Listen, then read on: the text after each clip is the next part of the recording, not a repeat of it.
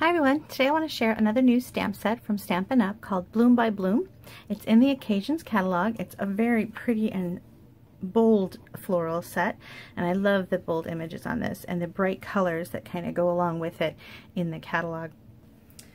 Here's some of the bold florals, a lot of navy and Clover, navy polka dot, flowers. I actually used up my favorite one which was this green and navy flower and I used all of it so I wish I could show you. This is a catalog, it's a really fun pattern and I don't have any of it left.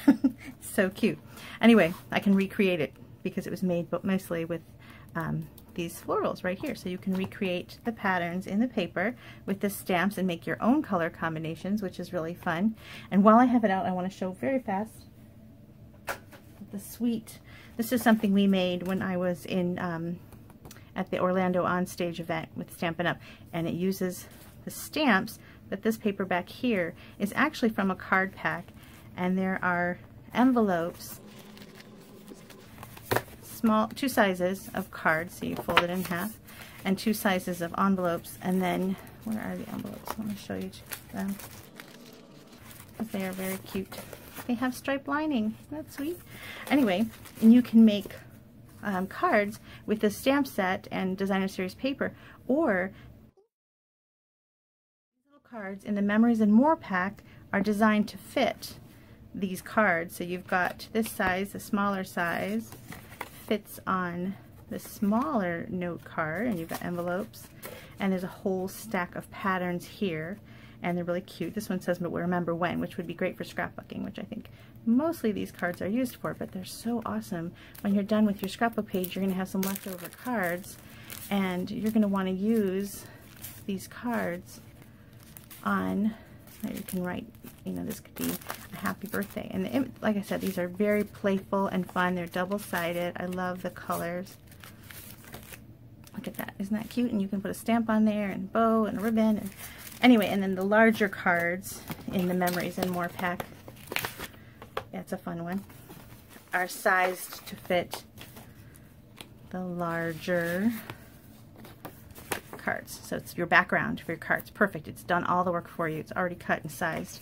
Happy birthday. Look right there. Just tie a ribbon around it. So there's just a whole pack of cards and envelopes to make quick cards like this one in the Memories and More pack. So check out Memories and More packs and the matching cards and envelope packets and you can make all kinds of stuff.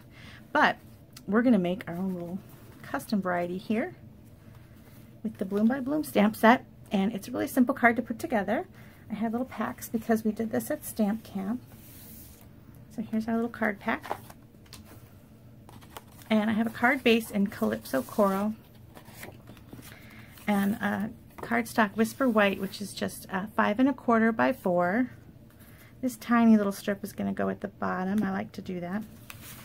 And then the front is a designer series paper, four by five and a quarter, and another strip, five and a quarter by one inch to go down the center. And this is Night of Navy, and it's four and a quarter by two and three quarters. Got everything in there? Yep. And look at the inside. It's got this cute little strip of paper here, and I didn't finish this one up, but let me show you this one. Look at this cute little flower. It's like Mary Engelbreit. Do you anybody remember that? anyway, it's really cute, and it's made with this little punch pack.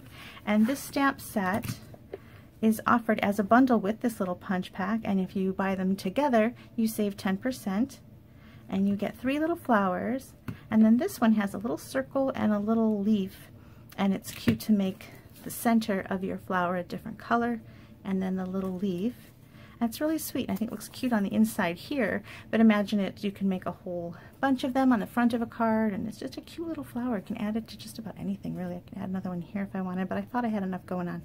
So, anyway, very cute little punch pack. So I'm going to put the stuff that I can put down, I'm going to put down quick real so that we get it all these little pieces out of our way.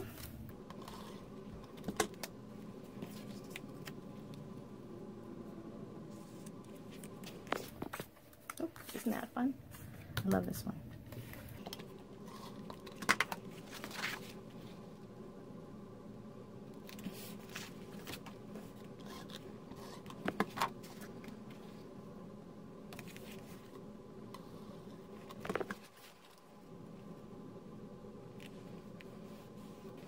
Okay, there is the face, the background of our card.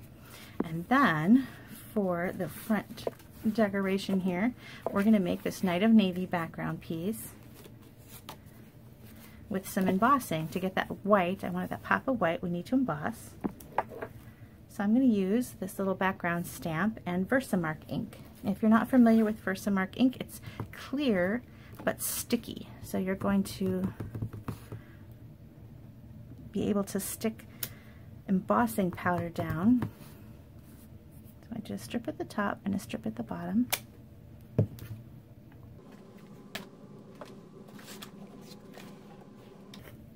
We're going to shake white embossing powder.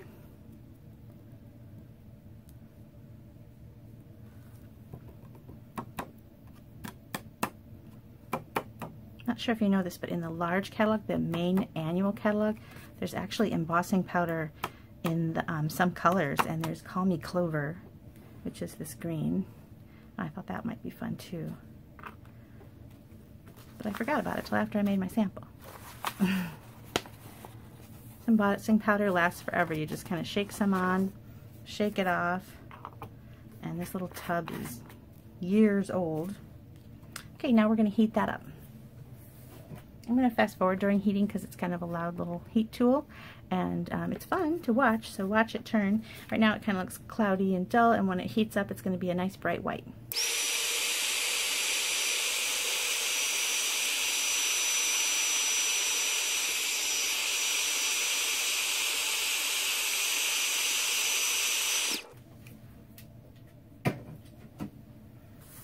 Okay, so there's that. And then you need a piece of scrap white. That's an old one from a different card. Okay, and we're going to stamp our flowers. So I'm using Calypso Coral just like in the background, but I wanted a lighter version. So we're going to ink it up. Then we're going to stamp it off on the side here to get some of that ink off and then stamp again on our Whisper White and then it's a lighter shade. But then on this small one, we're going to do full strength. That's nice and dark. And then, since I have this paper out, I'm going to stamp my little sentiment here. And that's from Itty Bitty Birthdays. I love the little itty bitty series. There's itty bitty birthdays and itty bitty greetings. Maybe they'll come out with itty bitty Christmas. Wouldn't that be nice? Um, it's a great little collection of sentiments and you get a pack, kind of a large set and you've got so many different fonts on the birth, sorry, you've got so many different fonts on the birthday one and I like it. We're using this one here, but I love how you get a small, uh, thin font, thick this one's great for kids. This one's more pretty. You've got a whole bunch of different fonts for birthdays there. I'm punching this out now. The newer punches don't look like this. My one and a quarter punch is kind of an old style one. It's not broken, so why get a new one? But the new ones look like this. You're probably already familiar with that. Okay. And then I have to fussy cut these but I don't mind cutting. I kind of think it's therapeutic. So I'm going to cut that out. While I cut it, I will fast forward so you don't have to watch me cut.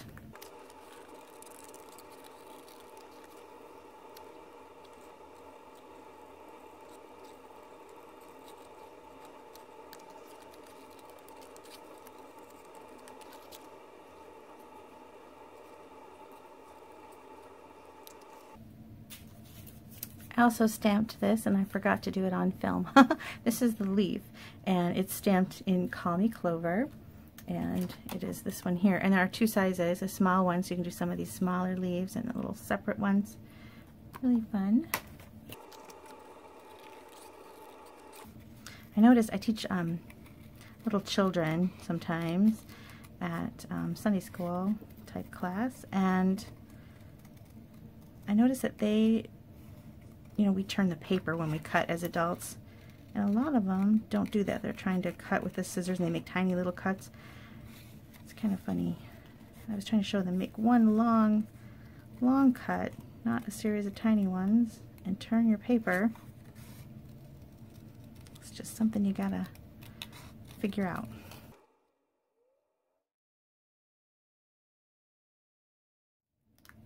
There. So now I've got all my parts.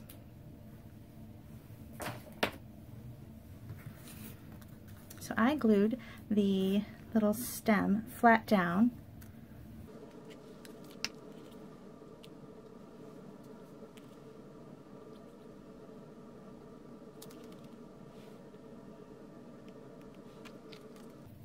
and the rest are popped up with some dimensionals.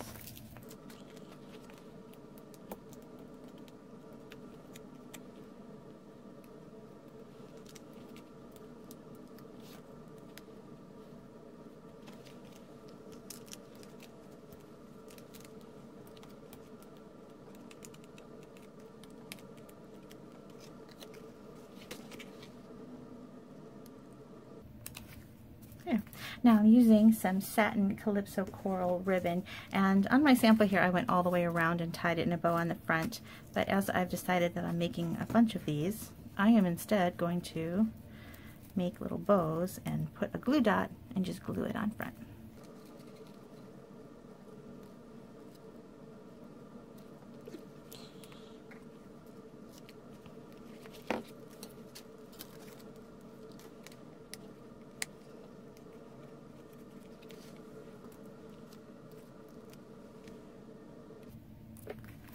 And there you have it. Oh, and the little flower inside. Now I punched a bunch of these already because as I said I have to make a ton of them. So I've got my little flowers.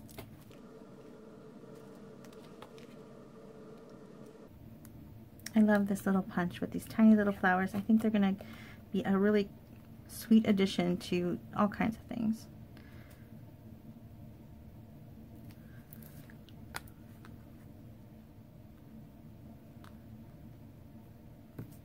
They are tiny though.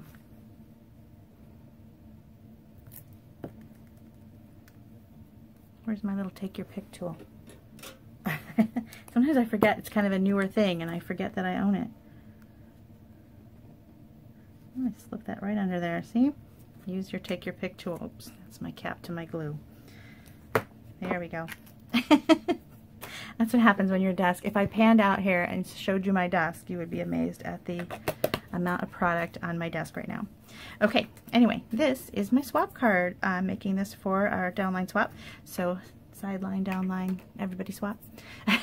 anyway, it's a really fun and I think pretty card and um, I hope that you like it. If you don't already have a Stampin' Up! demonstrator, I would love to be yours. I love to share my Stampin' Rewards with you by having a frequent buyer point tracker and you get to choose free stamp sets and hope, you can even use the hostess host stamp sets that are exclusive and I love to share those. So please look at my blog bethspapercuts.com and uh, you'll see that and under the header. You can click on the frequent buyer rewards program under my header and I hope you subscribe to my channel and come back again. Thanks so much for watching. Bye bye